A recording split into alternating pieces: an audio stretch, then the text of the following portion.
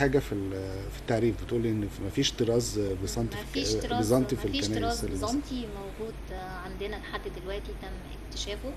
آه، يمكن الحفاير بتقول إن كان عندنا بس دي عبارة عن أطلال موجودة آه، هو في بس خلط ما بين الطراز ال- ال- البيزنطي والطراز القبطي معظم الناس لما بتلاقي الكنيسة مصممه على مجموعة من القباب يقول لك لا ده طراز آه، بيزنطي لأن الطراز البيزنطي بيقول لك التخطيط المعماري الخاص بيه إن هو التسقيف بيكون بالقباب مش بالقباب بس لوحده الكنيسة لابد يكون ليها نظام معين أو مواصفات معينة لازم القبة تكون قبة مركزية الشكل فيها مربع أو تاخد إلى حد ما التخطيط الصليبي.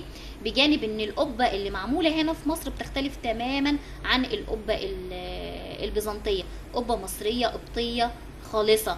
النموذج اللي بيقول في مصر إن ده تخطيط بيزنطي مسجد محمد علي بالقلعة اللي هو تم إنشاؤه على غرار مسجد السلطان أحمد في تركيا في إسطنبول اللي تم تصميم مسجد السلطان أحمد على غرار كنيسة آيا صوفيا اللي هي بترجع للقرن السادس الميلادي إلى. عصر الملك جاستنيان اللي هو ده الطراز ال- البيزنطي. البيزنطي آه أما العمارة المسيحية عندنا هنا في مصر بتنقسم ما بين بازيليكا وال- والت- والتخطيط الصليبي آه، وده بيعتبر مرحلة متطورة من الطراز اللي هو الايه ال- ال- القبطي. البازيليكي مم. آه، الطراز القبطي بقى بيجمع ما بين تعريفه بيقول لك إن هو بيجمع ما بين التخطيط البازيليكي والتخطيط ال- البيزنطي بس إحنا عندنا في آه، يعني إيه خلط ما بين القبة بتختلف تماما في مراحل الانتقال وشكلها وتصميمها وكل وكل شيء خاص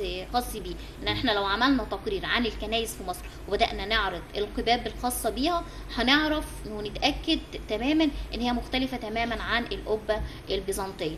والتخطيط الكنيسة اللي هي كنيسة السيدة ال- العذراء بمدينة سخا أو معظم الكنائس اللي هي موجودة عندنا هنا في الدلتا بترجع لطراز القرن التاسع عشر اللي كان سيد في الدلتا اللي هو التسقيف بالقباب وبيعرف بال- بالطراز ال- القبطي. ده أحد الأنماط اللي هي العمارة ال- المسيحية اللي ظهرت عندنا في مصر. وانتشرت بدأت في الصعيد وكان بادئ بطراز الإثنى عشر قبة لحد ما وصل دلوقتي لفوق ال 32 قبة.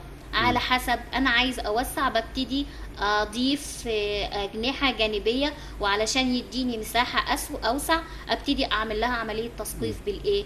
بالقباب. فبالتالي في تخطيط عندي اسمه التخطيط القبطي نمط من أنماطه اللي هو التسقيف بال هو النمط المعماري بتاع ال- النمط. المعماري. أنا عندي الطراز طب. النمط الفني بقى. يعني آه، معلش إحنا نبعد عن الموضوع شوية مع حضرتك آه يعني آه، شغل الأيقونات بقى وبرضه عايزين نوضح للسادة المشاهدين الأيقونات اللي هي الصور اللي بتبقى موجودة على الجدران آه، داخل الكنيسة. داخل ال- الكنيسة أيوه ال- الشكل ده مش إحنا كنا شايفينه مثلا في في المقابر الفرعونية مثلا أو المقابر المصرية. القديمة الأيقونة داخل آه، يعني- المسيحة داخل آه. الديانة المسيحية أو داخل آه. الكنيسة مرتبطة ارتباط كامل بالإنجيل. ما هي إلا آيات آه، آه، إنجيلية آه، مصورة. آه، زي ما إحنا في المسجد كده بنكتب زي الآيات. إحنا في المسجد ده بنكتب آه. الآيات على القرآنية. الجدران. بس في آه. حاجة الديانة المسيحية قائمة على الرمزية. الرمز، وده آه. تأثير مصري فرعوني قديم. برضه. أيوه. ال- الديانة المصرية القديمة كلها كانت رموز. حتى الكتابة كانت عبارة عن إيه؟ كانت عبارة عن رموز. فالفن القبطي متأثر إلى حد كبير بالفن المصري القديم. ال- القديم. لكن إحنا لو حبينا إن إحنا نتكلم عن الأيقونة الأيقونة ما هي إلا إنجيل. آيات إنجيلية بيتم رسمها أو تصويرها على الجدران أو نحتها أو تصويرها بمناظر بمنظر الفسيفساء أو الفريسكا أو بالزيت مرسومة على الجدران أو منفذة في هيئة أيقونات آه، خشبية بت- بتختلف بقى على حسب الموضوع. ممكن تكون للقديسين موضوع خاص بميلاد السيد المسيح موضوع خاص بمعجزات خاصة بالسيد المسيح على حسب الموضوع اللي إحنا بتختلف شكل الأيقونات من. من القبطي للبيزنطي أيوه الفنان القبطي الأوروبي. آه طبعا هي مدارس في. المدرسة البيزنطية والمدرسة البيزنطية ليها بيندرج منها أكثر من مدرسة يجي 22 آه، مدرسة وبالمناسبة برضو أنا عندي آه، كورس الشهر الجاي في الأيقونة البيزنطية فليها مدارس. والأيقونة البيزنطية مش بيتم رسمها أو التعامل معاها كده يعني لأ. الملامح الوجه ليها النسب بتاعتها ما بين ال- ال- الجبهة وما بين المنطقة هنا وما بين هنا. حتى تشريح الجسم ذات نفسه النسبة والتناسب نظرة العين في الأيقونة هنا بتختلف عن الاتجاه ده. فالأيقونة البيزنطية بت بتشرح من خلالها الجسم بنسب وأبعاد متساوية.